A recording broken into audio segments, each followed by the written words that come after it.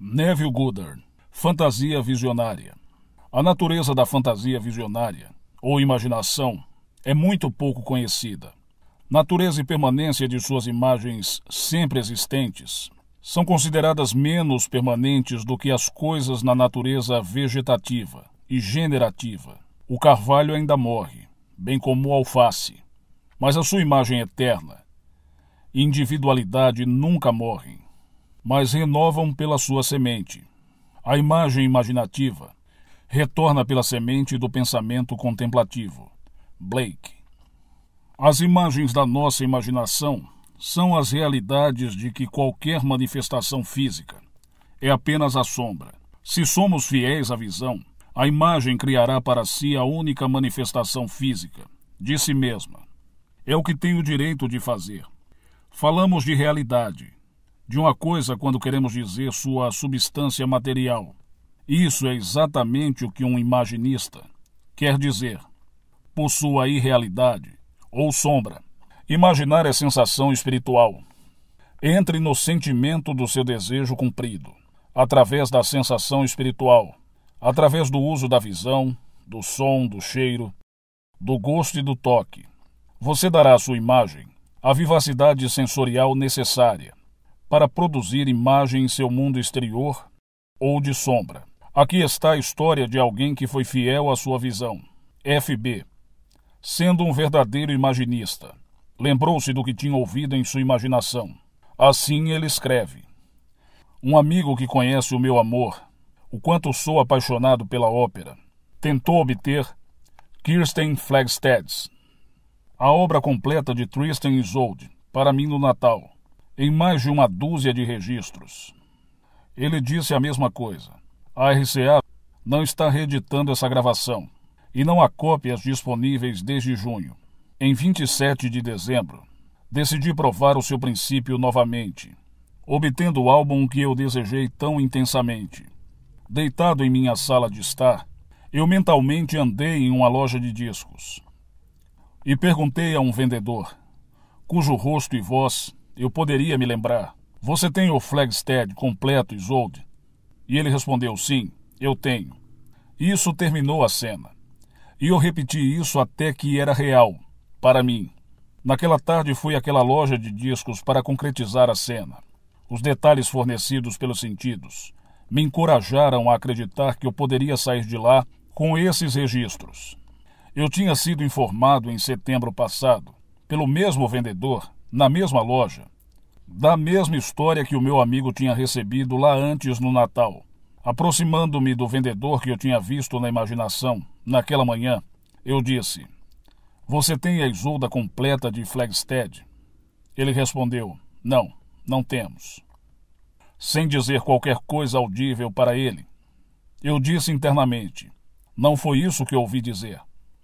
Quando me virei para sair da loja, notei uma prateleira superior o que eu pensava ser um anúncio desse conjunto de discos e comentei com o vendedor: Se você não tem a mercadoria, você não deveria anunciar.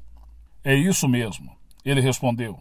E quando ele levantou para tirar o anúncio para baixo, descobriu que era um álbum completo, com todos os cinco discos.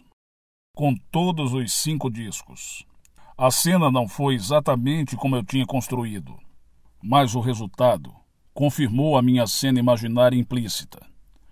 Como eu posso lhe agradecer, Neville? Depois de ler a carta do FB, devemos concordar com Anthony Eden. A hipótese, embora falsa, se persistiu em vontade, endurecendo em fato. Fantasia FB. Fuzzing com o campo de com o campo de sentido da loja de discos, enriqueceu os aspectos dele e os fez seu. Foi o que ele percebeu. Nosso futuro é a nossa imaginação em marcha criativa usou sua imaginação para consciente do que representava a vida como ele desejava que fosse, e desse modo, afetando a vida, em vez de simplesmente refleti-la, tão certo que ele era que seu drama imaginário era realidade, o ato físico foi apenas uma sombra. Quando o vendedor disse: Nós não temos, FB mentalmente disse: Isso não é o que eu ouvi dizer. Ele não só lembrou do que tinha ouvido, mas ainda estava se lembrando, imaginando o desejo cumprido.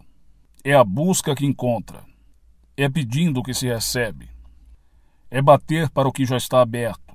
Ele viu e ouviu o que desejava ver e ouvir, e não levaria para casa. Não, não temos, como a resposta. O imaginista sonha enquanto acordado. Ele não é um servo da sua visão, mas o mestre da direção de sua atenção. A constância imaginativa controla a percepção de eventos no espaço-tempo. Infelizmente, a maioria dos homens são, ou estão, sempre mudando, com um olho sem alegria, que não encontra nenhum objeto digno da sua constância. A senhora GR também tinha ouvido imaginativamente o que ela queria ouvir fisicamente, e sabia que o mundo exterior deveria confirmá-lo. Essa é a sua história. Algum tempo atrás, nós anunciamos nossa casa para venda, que era necessário para comprarmos uma propriedade maior, em que tínhamos colocado um depósito. Várias pessoas teriam comprado nossa casa imediatamente, mas fomos obrigados a explicar que não podíamos fechar qualquer venda até que tivéssemos a certeza que a nossa oferta para o imóvel que queríamos tinha sido aceita. Nesse momento, um corretor literalmente nos implorou para permitir-lhe mostrar nossa casa para um cliente dele, que estava ansioso por este local e ficaria feliz em pagar ainda mais do que estávamos pedindo. Explicamos nossa situação ao corretor e à sua cliente. Ambos declaramos que precisávamos esperar nosso negócio ser consumado o corretor nos pediu para assinar um papel, que ele disse que não era obrigação de qualquer forma, mas lhe daria a primeira chance para vender se o outro negócio nosso fosse completado. Assinamos o papel. Mais tarde soube que, pelas leis da Califórnia, nada poderia ter sido mais vinculativo. Alguns dias mais tarde, nosso negócio para a propriedade nova caiu completamente. E nós notificamos esse corretor a sua resposta verbal foi: Bem, esquece isso. Duas semanas depois, ele entrou com uma ação contra nós, por 500 dólares de comissão, e foi marcada uma data para o julgamento. Um julgamento com júri. Nosso advogado nos assegurou que faria tudo o que poderia, mas que a lei neste particular era muito rigorosa, que ele não podia ver qualquer possibilidade de vencer o caso. Quando chegou a hora do julgamento, meu marido estava no hospital e não podia aparecer comigo em nossa defesa. Eu não tinha testemunhas, mas o corretor trouxe três advogados e uma série de testemunhas no tribunal contra nós. Nosso advogado me disse agora que não tínhamos a menor chance de ganhar. Voltei-me para minha imaginação e foi isso que eu fiz, desconsiderando completamente tudo isso. O que havia sido dito por advogados, testemunhas, ao juiz parecia favorecer muito o autor. Pensei apenas nas palavras que eu queria ouvir. Na minha imaginação, escutei atentamente e ouvi o chefe do júri dizer: Nós achamos o réu inocente. Eu escutei até que soube que era verdadeiro. Fechei o ouvido na minha mente para tudo o que se dizia naquele tribunal e ouvi apenas essas palavras: Nós achamos o réu inocente. O júri deliberou do meio-dia até as quatro e meia daquela tarde. E durante todas essas horas, na sala do tribunal, ouvi essas palavras repetidamente em minha imaginação. Quando os jurados retornaram, o juiz pediu o veredito. O responsável se levantou e disse: Achamos que o réu não é culpado. Assina a senhora GR. Se houvesse sonhos para vender, o que você compraria? Você não compraria o seu desejo cumprido? Seus sonhos são sem preço e sem dinheiro. Ao bloquear o júri em sua imaginação, ouvir apenas o que ela queria ouvir, ela chamou o júri à unanimidade em seu nome. Imaginou a realidade que para ela fazia sentido. Não. Imaginar ser a realidade de todos que existem. Com ela, a dama alcançou seu desejo cumprido. A afirmação de Hebel de que o poeta cria a partir da contemplação é verdade para o bem. Eles sabem como utilizar suas alucinações de áudio e vídeo para criar a realidade. Nada é tão fatal quanto a conformidade. Não nos devemos permitir que nada nos seja fixado de fato. Alterar a imagem, e assim mudamos o fato. É o empregar a arte de ver e o sentimento para criar sua visão na imaginação. R.O. empregou a arte de ver e o sentimento para criar sua visão na imaginação. Um ano atrás eu levei meus filhos para a Europa, deixando meu apartamento mobiliado, no cuidado da minha empregada. Quando voltamos alguns meses depois para os Estados Unidos, vi que minha empregada doméstica e todos meus móveis haviam ido embora. O superintendente do apartamento declarou que a criada tinha movido o meu mobiliário, segundo ela, por meu pedido. Não havia nada que eu pudesse fazer no momento. Então eu levei meus filhos e me mudei para um hotel. Eu, naturalmente, comuniquei o incidente à polícia e também trouxe detetives particulares para o caso. Ambas organizações investigaram cada empresa de mudanças e cada armazém em Nova York, mas sem sucesso. Parecia não haver absolutamente nenhum vestígio da minha empregada, nem dos móveis.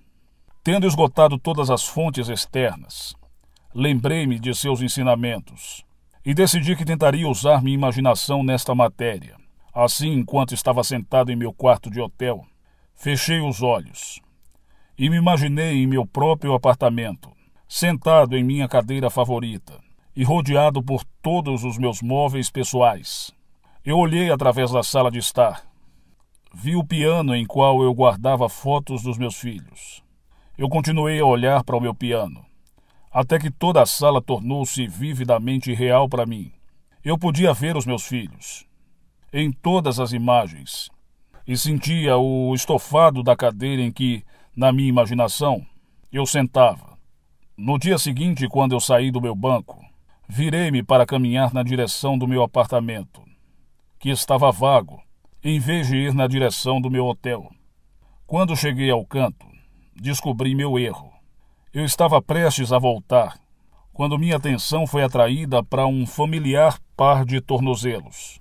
Sim, aqueles tornozelos pertenciam à minha criada. Eu caminhei até ela e segurei seu braço. Ela estava muito assustada, mas eu lhe assegurei. Tudo o que queria dela era minha mobília. Chamei um táxi e ela me levou para o lugar em que os seus amigos tinham armazenado minha mobília. Em um dia, minha imaginação tinha encontrado aquilo que toda uma grande cidade, polícia e investigadores privados, não conseguiram encontrar em semanas. Esta senhora sabia do segredo de imaginar antes de chamar a polícia, mas, imaginando, apesar da sua importância, isso foi esquecido devido à atenção fixa sobre os fatos. No entanto, o motivo não conseguiu encontrar pela força imaginou encontrar e o fez sem esforço. Nada prossegue, incluindo o sentimento de perda, sem o seu imaginário apoio, suporte. Imaginando que ela estava sentada em sua própria cadeira, em sua própria sala de estar, cercada por todos os seus próprios móveis. Ela retirou o apoio imaginário que tinha dado ao seu sentimento de perda, e por essa mudança imaginal, ela recuperou seu perdido mobiliário e restabeleceu sua casa. Sua imaginação é mais criativa quando você imagina coisas como você deseja que elas sejam, construindo uma nova experiência fora de um sonho de fantasia. Para construir tal sonho de fantasia, em sua imaginação, FG trouxe algo para tocar os seus sentidos: visão, som, toque e cheiro. Essa é a sua história. Desde a infância sonhei em visitar lugares distantes. As Índias Ocidentais. Tudo isso particularmente sempre despertou a minha fantasia. E eu comecei a sensação de realmente estar lá. Os sonhos são maravilhosamente baratos. E como um adulto, eu continuei a sonhar meus sonhos, pois eu não tinha dinheiro nem tempo para torná-los realidade. No ano passado fui levado para o hospital para uma cirurgia necessária. Eu tinha ouvido seus ensinamentos, e enquanto me recuperava, decidi intensificar meu devaneio favorito, enquanto eu tinha tempo em minhas mãos. E mesmo ali, na verdade, escrevi para a Alcoa Stanship, pedindo passes de viagem gratuita e pensando sobre eles. Hora após hora, escolhi o navio, o camarote e os sete portos que eu desejava mais ver. Eu fechava meus olhos e, na minha imaginação, subia ao dia da embarcação e sentia o movimento da água, à medida que o grande caminho para o oceano estava livre. Ouvi o barulho das ondas, quebrando contra os lados do navio. Senti o calor fumegante de um sol tropical no meu rosto. E cheirei e provei sal no ar, enquanto navegávamos por águas azuis. Por uma semana sólida, fiquei confinada a uma cama de hospital. Vivi a experiência livre e feliz de estar naquele navio. Então, um dia antes de receber alta do hospital, dobrei minhas cartas e as esqueci.